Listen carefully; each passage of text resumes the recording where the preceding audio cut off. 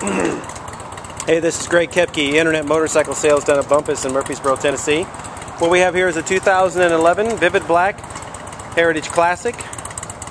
Did a lot of very nice things to the motorcycle. Only has 2,516 miles on it.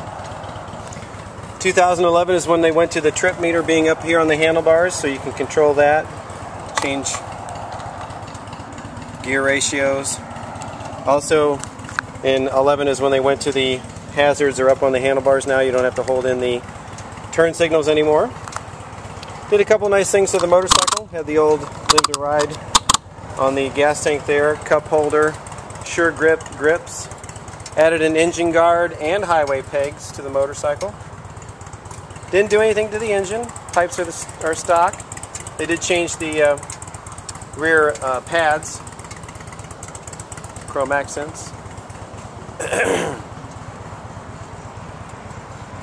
Paint's very clean, no scratch in the paint.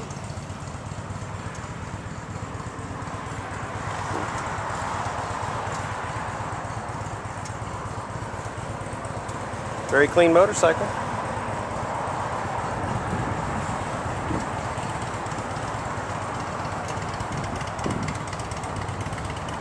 We got a good bike price on this one.